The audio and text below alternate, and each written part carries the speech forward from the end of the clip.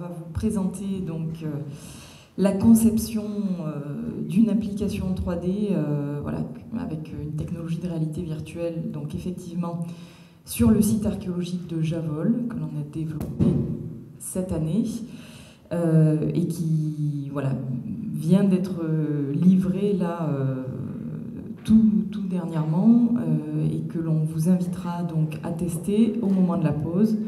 Euh, auprès de Stéphane Avon, qui est ici euh, avec nous euh, et qui est infographiste 3D et qui a travaillé pour la société IGO, donc qui est le prestataire qui a développé cette application. donc dans cette intervention, nous évoquerons très brièvement la localisation du site et le contexte du programme de mise en valeur du site archéologique de Javol vers la réalité virtuelle, donc dans le cadre du projet global de mise en valeur, effectivement l'application euh, Javol VR, la méthodologie de projet, et puis voilà, en conclusion, euh, Javol, un projet innovant, une interrogation. Localisation du site, donc le site archéologique de Javol en Déritum, donc qui est en Lozère, donc propriété en partie de la région Occitanie. Euh, il est mis en valeur dans le cadre d'un projet euh, partenarial, euh, puisque il est mis en œuvre grâce au partenariat scientifique, technique et financier de la DRAC Occitanie, de la commune de Peyron-Aubrac, la communauté de communes des Hautes Terres de l'Aubrac et bien évidemment le département de la Lozère également.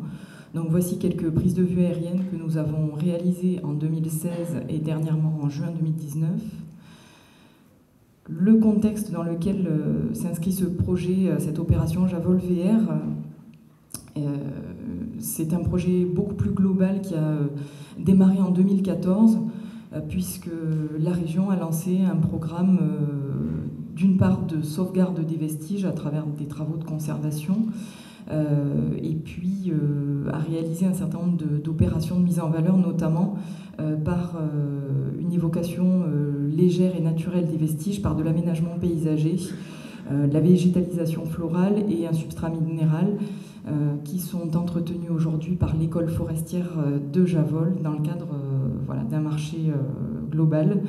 Et cet aménagement paysager donc retrace le cœur monumental de la ville antique et sa trame urbaine sur les parties publiques du site archéologique, donc sur un peu plus de 13 000 mètres carrés. Voilà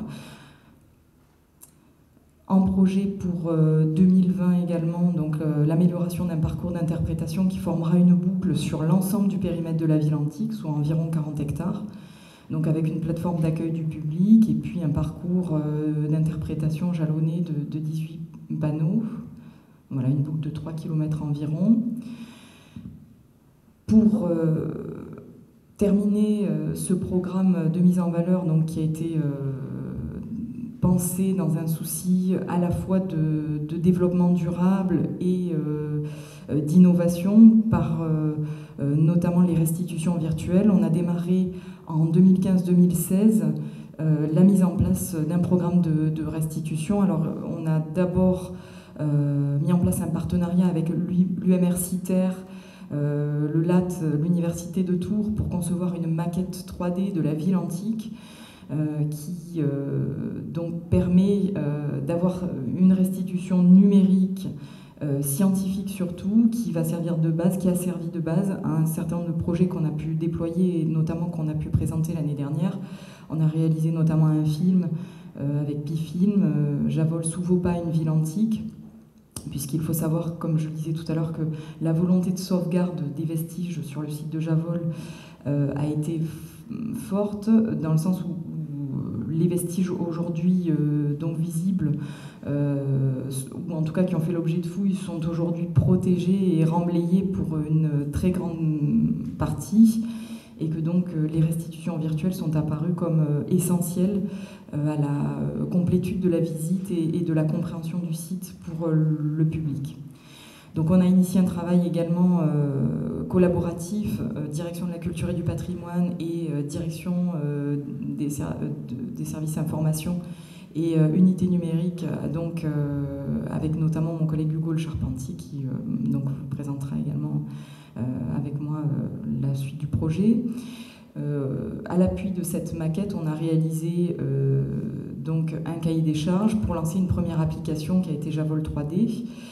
Pour ce projet, cette opération, on a évidemment mis en place aussi une méthode de projet agile et du design d'expérience pour avoir donc une application Javol 3D qui colle le plus possible aux attentes des utilisateurs et puis pour calibrer vraiment une application euh, voilà, qui, soit euh, une application vraiment dédiée et propre au site de, Javol.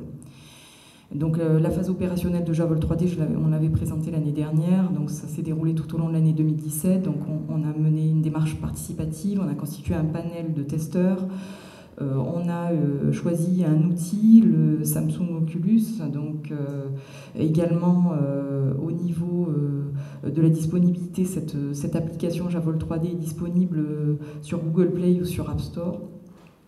Et puis le produit donc, a été finalisé en novembre 2017 et a été lancé officiellement en juin 2018 sur le site archéologique qui s'est doté de 14 casques et qui permettent donc euh, aux visiteurs aujourd'hui de euh, se lancer euh, dans une visite virtuelle, dans un parcours mixte, plutôt assimilé à la réalité augmentée en réalité, voilà, à travers donc sept points d'intérêt qui sont développés en 3D. Aujourd'hui, on a eu envie d'aller un peu plus loin en développant euh, donc euh, Javol VR vers la réalité virtuelle. Euh, donc c'est un projet sur lequel on a commencé à travailler dès la fin de 2018 et je vais laisser la parole à, Hugo le Charpentier qui va vous présenter donc cette démarche qu'on a développée tout au long de l'année 2019. Bien, bonjour. Euh, alors juste pour faire la transition, ce qui est important aussi de comprendre, c'est que euh, Javol 3D, en fait, c'est une application euh, de réalité augmentée. Pas dans du 100% virtuel, c'est-à-dire qu'il y, y, a des photos à 360 qui sont prises dedans, enfin qui sont prises et qui sont compilées dans une application, et par-dessus, on va insérer effectivement du, de, de, la donnée, un peu de données virtuelles. On va, on va augmenter en tout cas la réalité avec avec du, euh, du virtuel pour euh, améliorer en fait euh, le, côté, enfin l'aspect immersif. Et le but du jeu, c'est donc on a une flotte de casques qui est disponible au musée, donc in situ à Javol, et donc les visiteurs, lorsqu'ils vont visiter le musée, peuvent, s'ils souhaitent, avoir en plus du discours donc du médiateur sur place, avoir une vue, une représentation en tout cas euh, de la cité euh, antique comme elle était euh, en l'an 150. Aujourd'hui, la réalité virtuelle, c'est comment dire, c'est une technologie qui va permettre d'apporter en fait la culture partout et pour tous. C'est-à-dire qu'on n'aura plus besoin d'être sur place pour visiter la cité antique de Javol. Et d'ailleurs, tout à l'heure, vous pourrez en faire l'expérience, c'est-à-dire que vous aurez, euh, si vous souhaitez, vous aurez l'opportunité euh, via le casque euh, l'application et donc du coup vous pourrez vous retrouver dans la cité sans y être. Et c'est là où elle est cette valeur ajoutée parce que le but du jeu c'est en fait de placer ce dispositif dans divers endroits de la région. Donc ça peut être des maisons de région, ça peut être aussi dans des lycées, des hôtels de région, etc. Et donc, du coup, avec un, outil, on peut valoriser du patrimoine existant et le proposer sans forcément y être. Euh, donc comment on a procédé pour arriver à, euh, cette application, donc en, réalité 100% euh, virtuelle. Donc le but du jeu, c'était de proposer une expérience utilisateur immersive en capitalisant sur ce qu'on avait mis en place via la première application, donc Javol 3D. Donc là, c'était le but du jeu, c'était de proposer un Javol mobile accessible sur l'ensemble du territoire de la région Occitanie, comme je viens de l'expliquer. Euh, donc on capitalisait sur notre savoir-faire interne, mais aussi sur celui euh, euh, des, prestataires qui nous accompagnent, dont IGEO qui a participé au développement de l'application, mais aussi d'autres prestataires comme Brandberry qui accompagnent et qui animent les ateliers de conception et d'idéation qui, sont organisés pour, concevoir en fait, pour mettre en tout cas sur la table l'ensemble des idées qui vont permettre de, de calibrer l'application, donc le produit final. Bien sûr, on utilise des technologies comme, donc là c'est le HTC Vive Pro, il en, existe d'autres, mais c'est celui-ci qu'on a, choisi. Et, en plus de ça, le but cette année, c'était de renforcer l'expérience immersive en confectionnant un environnement immersif sécurisé. Donc nous, on appelle ça un cube d'ambiance. Euh, c'est-à-dire que euh, voilà, on va avoir un cube où l'utilisateur euh, va rentrer dedans et donc du coup il va se sentir en fait, ça va améliorer l'expérience immersive puisque en fait, les capteurs et le son seront dans un espace qui sera complètement dédié. Ça ne sera pas du tout dans un espace ouvert comme celui-ci. et donc, du coup, ça apporte une valeur ajoutée, une plus-value à l'expérience. Euh, voilà, donc là je passe vite fait, mais euh, l'objectif c'était euh, de montrer par l'exemple qu'une expérience utilisateur immersive 3D mobile sur l'ensemble du territoire est adaptable sur différents lieux. Le but du jeu c'est de faire connaître un site région au-delà ben, du, site, du site région et, bien sûr le souhait de valoriser l'innovation sur, sur, sur, les sites régions.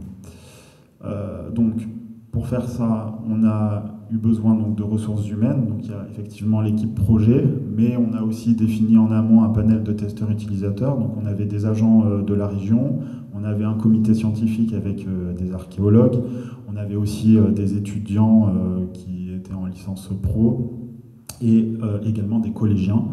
Euh, le but, c'était d'avoir un, panel euh, plutôt représentatif de la population euh, potentiellement qui peut tester ce, genre d'application pour que la, maquette finie soit représentative des, futurs besoins utilisateurs.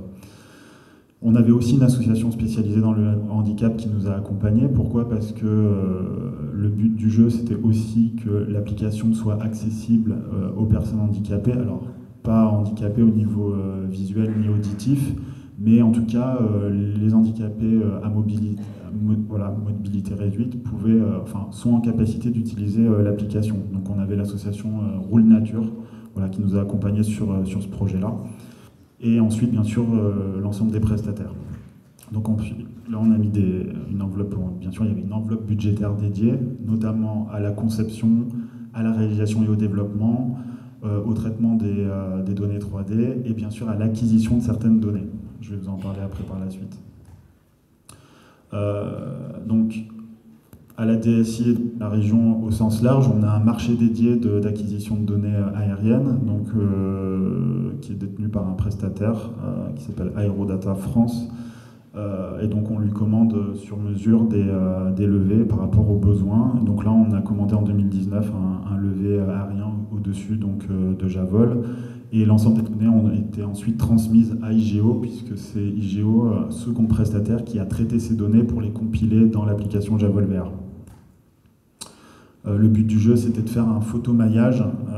donc vous, aurez la possibilité de le, tester dans l'application, c'est-à-dire que en fait, vous arrivez dans l'application, vous avez la vue générale de Javol, mais la vue réelle, comme, comme elle a été prise de l'avion. Et ensuite, vous basculez euh, donc, de 2019 à l'an 150. Euh, et donc, on a euh, en fait une, le, photomaillage permet de. Comment dire En fait, on a une transition qui se fait progressivement vers l'an 150 depuis, depuis la réalité. Donc là, en fait, c'est des photos qui, montrent cette transition, mais vous verrez, je vous invite à, à tester l'application, vous aurez une idée concrète de, cet aspect-là. Donc, la méthodologie, euh, on a une gestion de projet, donc là, c'est pour faire très court, mais euh, on avance en agilité. En agilité, ça veut dire qu'on avance pas à pas, c'est-à-dire qu'on définit des objectifs à court, euh, moyen et long terme, et on déclenche le second objectif quand le premier en fait est terminé. Donc du coup, ça, permet en fait de, calibrer et d'ajuster le rythme d'avancement du projet en fonction des décisions qui sont prises. Voilà, donc c'est quelque chose qui est, euh, qui est beaucoup plus euh, pertinent quand on, aborde en fait ce type de, développement, puisqu'on est sur des applications qui nécessitent l'organisation d'ateliers avec euh, des panels utilisateurs. Et donc du coup, cette méthode-là d'avancement pas à pas est, pertinente en ce sens-là, puisqu'elle permet d'ajuster et d'adapter les rythmes d'avancement en fonction des difficultés qui peuvent potentiellement être rencontrées. Donc il y a un, calendrier de, réalisation à vue macro. Là, pour vous donner un ordre d'idée, on a mis, euh, on est en novembre, on a commencé le développement après, à partir de février de cette année. voilà, on, a, on est sur, sur une échelle de 9 mois environ. Euh, donc l'équipe projet, euh, il y a effectivement le côté métier avec euh, Nathalie qui représente la direction de la culture et du patrimoine, moi-même à la DSI pour l'aspect technique. On va avoir les prestataires et les sous-traitants et on organise et on formalise des rendez-vous spécifiques, c'est-à-dire qu'on va avoir des comités techniques pour justement arbitrer sur certaines décisions. On va aussi avoir des comités scientifiques avec des archéologues. on a besoin en fait de, de validation de contenu par exemple, si euh, il y a un toit sur un bâtiment qui est en tuile, il va falloir savoir si, euh, c'était vraiment ce type de, tuile euh, voilà, en l'an 150, etc. Voilà, donc c'est très important de, le souligner parce que tout ce que vous verrez en fait dans l'application a été validé scientifiquement. Et quand bien même il n'est pas possible au niveau de la technologie de, s'approcher, en tout cas très finement par rapport à la réalité d'antan, en fait, historique, euh, on, l'a indiqué qu'on a fait au maximum pour se rapprocher en fait de, l'histoire, mais que voilà, des fois, il y a, la technologie qui ne permet pas d'aller au fond des choses, tout simplement parce que euh, ça demande beaucoup de ressources en fait informatiques et il faut quand même qu'il y ait un confort d'utilisation pour l'utilisateur, donc il faut qu'il y ait une vitesse euh, d'exploitation qui soit quand même correcte pour que ce soit sympa à utiliser. Et donc parfois on est obligé de faire des choix, des techniques qui ne nous permettent pas d'être euh, à 100% euh, en lien avec la, réalité historique, mais on le précise à chaque fois. Euh, il y a des ateliers thématiques qui ont été faits, et ensuite il y a donc les ateliers thématiques, c'est avec les panels utilisateurs, c'est des, sessions en fait d'idéation où on va mettre des idées sur la table par rapport à des thématiques de manière à avoir à répertorier et à prioriser, nos idées. Et enfin, il y aura des comités de pilotage et des présentations qui seront organisées au fil de l'eau. Donc concrètement, ça donne, ça je vous fais, euh, c'est la constitution des groupes utilisateurs, je passe. Euh, ça donne des ateliers qui ont été organisés. Donc par exemple, l'atelier 1, le but du jeu, c'était euh, d'imaginer avec les participants quelle expérience de visite virtuelle on peut donner au produit Javol VR. Donc tout le monde mettait ses idées sur des post-it, ensuite on faisait une priorisation, etc. Donc c'était un atelier qui était animé sur, sur une matinée. Après il y a des comptes rendus qui sont produits on a la possibilité de voir euh, les, éléments clés qui sont ressortis de ces ateliers-là. Euh, l'atelier 2, on va un peu plus loin, donc euh, on a une première maquette qui capitalise sur les idées qui ont été mises en avant sur l'atelier 1, et là on est dans une autre thématique qui vise à approfondir l'expérience VR. Donc là, qu'est-ce qu'on veut en termes de quête, en termes de mode de visite, en termes de navigation par exemple? Pareil, on est dans la même démarche, on capitalise sur l'atelier 1, puis euh, donc du coup sur euh, les idées qui ont été, euh, abordées dans, l'atelier 2 pour améliorer la, maquette et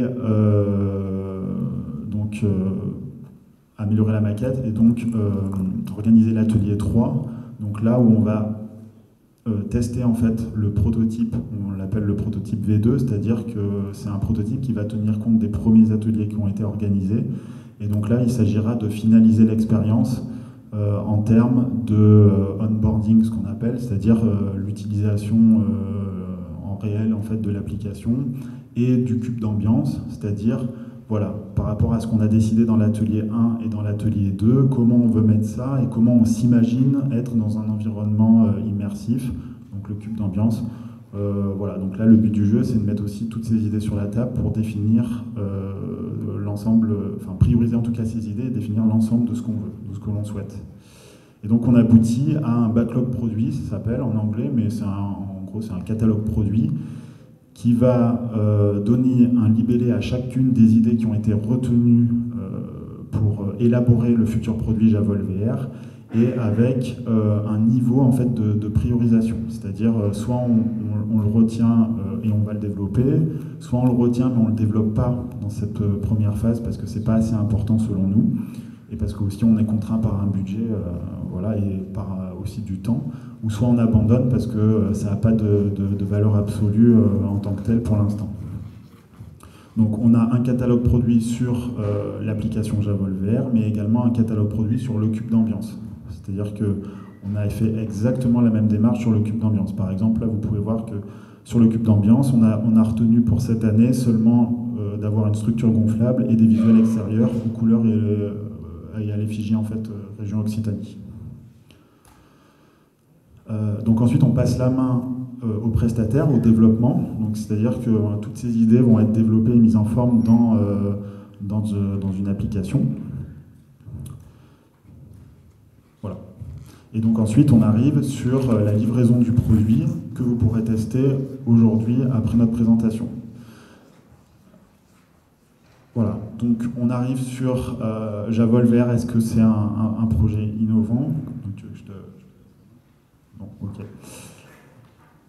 Voilà. Donc en fait, le but de cette démarche, c'est d'une part de montrer euh, que, euh, donc j'ai parlé de UX design, ça c'est tout ce qui concerne l'animation des ateliers de conception de l'application, c'est-à-dire comment on met des idées sur, euh, sur la table avec plusieurs utilisateurs qui viennent d'horizons différents, que ce soit collégiens, étudiants, agents région, externes, etc. Euh, comment on priorise les idées, comment on construit le catalogue produit qui servira de base aux développeurs pour, euh, pour l'application. Donc tout ça, voilà, on peut mettre ça dans une sorte de package et donc c'est l'UX design. Euh, la gestion de projet agile, c'est comme je l'ai dit au début, c'est on avance pas à pas. Ça, c'est très important. On n'est pas sur euh, la, livraison d'une application sur étagère. C'est pas, euh, voilà, nous, on, comment dire, on n'est pas en tant que région en disant, bah, voilà, on veut une application de réalité virtuelle. Il n'y a pas le prestataire qui nous dit, bah si, voilà, moi j'ai l'habitude de faire comme ça, voilà, je vous développe ça et je vous le livre dans un mois. Ça marche pas comme ça. On avance pas à pas. C'est, on définit ce qu'on veut et on voit si c'est conforme à nos besoins et on affine le besoin au fur et à mesure de l'avancée du projet. C'est beaucoup plus long qu'un projet traditionnel, mais euh, au final, on a un, produit qui correspond aux attentes des, utilisateurs. Et donc, du coup, on a un produit qui vit, qui va pouvoir être mis en exploitation. Euh, l'utilisation de la réalité virtuelle, donc c'est effectivement une technologie récente. Il y a beaucoup d'utilisations qui, en sont faites. Nous, voilà, on prend le, parti aujourd'hui de, capitaliser sur, sur des sites régions de capitaliser sur des données 3D qui sont en propriété région et de leur donner une vie euh, par rapport à une, euh, une, une, expérience en fait innovante. Et donc euh, on a aussi une stratégie par rapport à ça, puisque le but du jeu, c'est effectivement de travailler en transversalité avec des directions métiers, mais c'est surtout valoriser des sites régionaux et montrer que l'outil informatique peut être une valeur ajoutée sur, au niveau de la culture et du patrimoine. Voilà, notamment Là, j'extrapole un peu, mais euh, voilà, par exemple, au tourisme de masse, comment, euh, comment on répond Comment on répond au tourisme de masse? Bah, Ça peut être aussi une alternative, c'est-à-dire que voilà, sur certains sites, plutôt que d'avoir un flux touristique en continu euh, sur, sur des sites, voilà, on peut proposer des, méthodes alternatives pour aussi proposer une expérience à des utilisateurs sans forcément être sur, sur ces sites-là. Ça, c'est les enjeux de demain, mais on, on, y sera assez rapidement. Voilà, donc ça c'est des images de la, que vous pourrez voir en, testant l'application qu'on a souhaité mettre. Donc je crois qu'on a, voilà, on a fini là. Et ce que je voulais, euh, pour conclure, ce que je voulais dire, c'est que euh, là aujourd'hui, on rentre dans une démarche où on, met donc l'application en exploitation. Donc là aujourd'hui, c'est la, euh, la première journée un peu professionnelle où on va faire tester l'application à des utilisateurs autres que ceux qui ont participé aux ateliers. Euh, on va participer au, Clic France, on va participer au campus européen d'innovation touristique. On a des réunions, enfin des, présentations aussi dédiées en décembre. Euh, donc là, le but du jeu, en fait, c'est d'exploiter de, euh, l'application qui, a été, qui a été calibrée et d'avoir un retour en fait utilisateur, c'est-à-dire qu'on a des fiches qui sont en train d'être stabilisées où à chaque test, en fait, les, les personnes seront invitées à remplir une petite fiche. Ça prendra quelques secondes. Euh, du coup, avez-vous aimé la navigation? Est-ce que vous trouvez ça trop simple, trop compliqué? Euh, Qu'est-ce que vous auriez aimé euh, avoir en plus dedans, etc. Et donc, du coup, en 2020, on aura un retour sur 2-3 mois d'exploitation. On pourra mettre à jour l'application en tenant compte de cette, exploitation-là, de manière à affiner l'application qui, est, présentée ici. Parce que même je finis, c'est important. non, mais c'est en fait, on peut organiser le nombre d'ateliers qu'on veut en amont. On n'aura jamais euh, une représentation fidèle de, ce que pourrait être l'application. Donc, euh, l'indicateur clé, c'est vraiment les retours, euh, les retours utilisateurs. Et, donc, 2020, on verra la, future application. Voilà, merci de votre attention. Je voulais juste ajouter un petit mot. Nous serons la semaine prochaine au Forum de l'innovation à Nîmes, les 14 et 15 novembre. Nous vous invitons bien entendu à participer euh, donc à ce Forum de l'innovation la semaine prochaine. Euh, voilà, il reste encore des places. L'entrée libre et gratuite. Vous pouvez vous inscrire sur le site du Clic France. Merci pour votre présentation.